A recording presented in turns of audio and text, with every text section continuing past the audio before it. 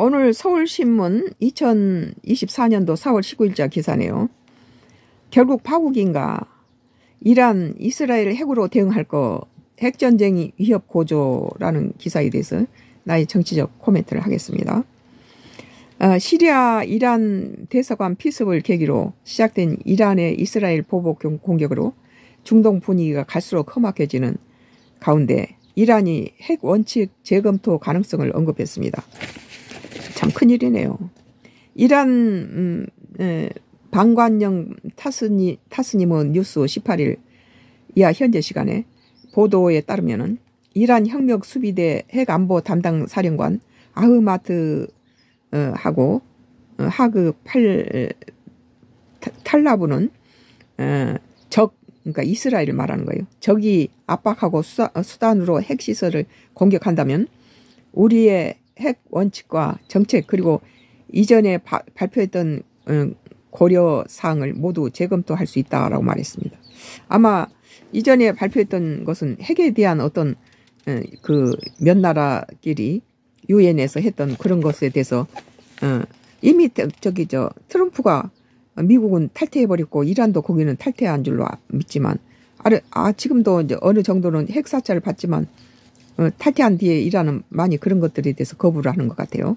근데 그런 것들을 다 무시해버리고 어 만약에 어, 이 이스라엘이 저기 어, 꼼수를 부리면서 신경전을 부리면서 이란의 핵 시설도 뭐, 뭐 폭격 감행하겠다 이런 식으로 이제 노출하니까 이제 이란을 자극하니까 자기는 그 핵 협정 그런 것들 다 무시해버리고 어 그 적이 만약에 핵 시설을 공격하면 핵 던지겠다 이거죠.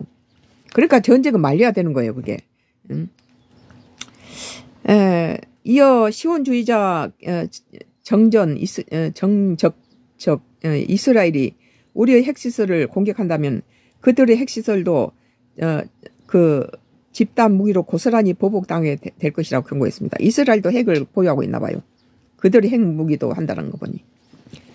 어, 이어 시원주의 에, 그, 그 이스라엘이 처음으로 어, 자국 영토를 공격한 이란에 대해 에, 참 재보복을 경고한 가운데 에, 하그 탈라브 사령관의 이 같은 발언용이 이스라엘이 재보복을 실행에 옮길 경우에 핵 프로그램 사용을 검토할 수 있다는 뜻으로 풀이되면서 중동 핵 전쟁이 위험이 고조됐습니다. 앞서 이란은 2015년 유엔 안보리 상임 이사 후 및 독일 등 6개국과 어, 핵 프로그램 동결 또는 축소 대가로 어, 미국, 음, 유엔, 유럽연합 EU 등의 경제 제재를 해제 하는 내용의 핵 합의 JCPOA 포괄적 공동행동 계획에 서명한 바 있습니다. 그래서 이란을 제재했던 모든 것들을 풀어줬다는 거죠. 어, 경제 제재를 풀어줌으로 해서 그 핵을 함부로 이제 남용하거나 그 핵을 자꾸 많이 만드는 거나 이런 그 핵 개발에 대해서 자무실을 채웠는데 어, 그러나 2018년도 도널드 트럼프 당시 미국 대통령의 핵 합의를 일방적으로 폐기했고 이에 이란도 탈퇴를 선언했습니다. 이후에 국제 원자력 음, 기구 IAEA의 사찰을 제한하며 우라늄 농축도를 60%까지 높였습니다. 어, 트럼프가 원인이었네요. 음, 미국이 앞장서서 탈퇴해버리니까 이 지구촌에 자물쇠가 열려버린 거죠. 서방은 이란의 핵무기 제조에 한 발 더 가까이 다가섰고 음, 그 우려하는 가운데 이란이 핵무기 제조에 한 발 더 가까이 갔다고 서, 서방 세력들은 이제 우려한다는 거예요. 이스라엘의 분쟁이 본격화되면서 러시아 우크라이나에 이어 핵사용 위협이 더욱 잦아지고 있는 있다는 분석이 나옵니다. 지금 우크, 우크라이나하고 러시아 전쟁에서도 러시아가 자칫하면 핵 던지겠다는 식으로 엎어 놓고 있잖아요. 그런데 이제 이란이 지금 또 그러고 있어요.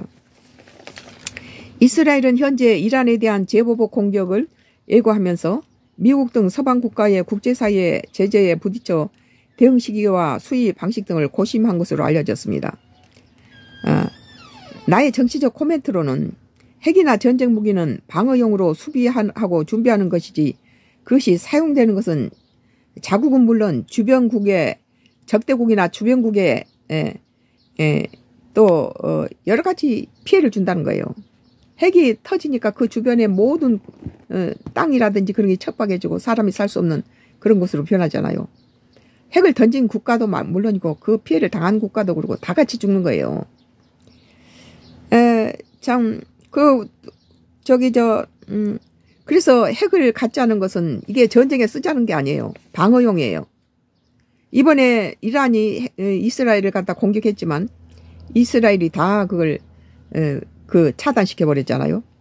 그래서 전쟁 무기를 재무장하는 것은 뭐 우리 한국 저 국민들은 뭐 저기 어 군사 무기나 무기 팔지도 말고 생산하지 말라라고 대, 어, 스트라이크 그리고 뭐 움직임 보이는데 그건 멍청한 짓이에요.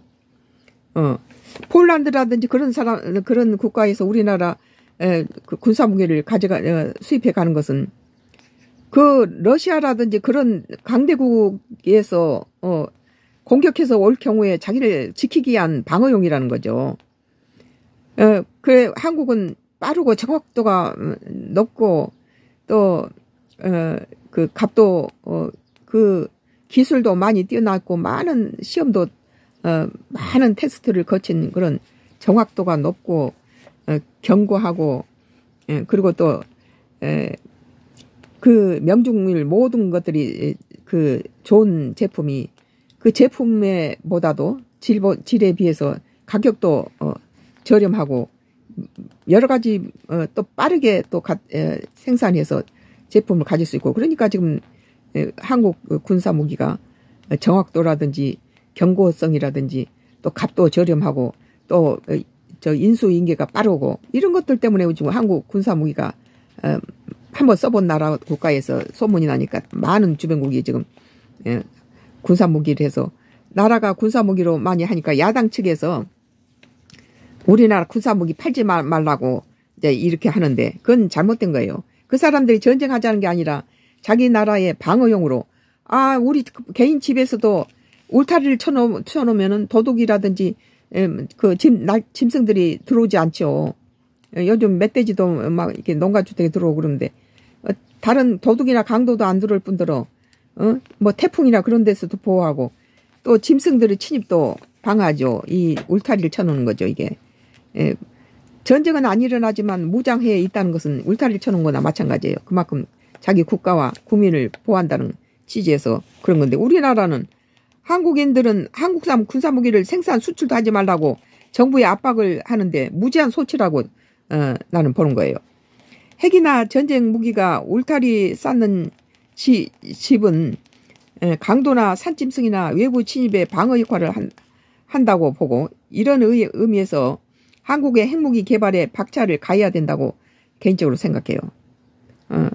그 핵무기 지금 주변국이 다 핵무기로 무장되어 있는 상태에서 어, 그 우리 한국도 핵무기로 이제 무장해야 될 그런 상황이다. 그것은 공격용이 아니고 어, 보호용이다. 아, 방어용이다. 그렇게 보는 거죠. 서울신문 2024년도 4월 19일 기사 결국 파국인가 이란 이스라엘 핵으로 대응할 것 핵전쟁 위험 고조라는 어, 기사에 대해서 나의 정치적 코멘트를 했습니다.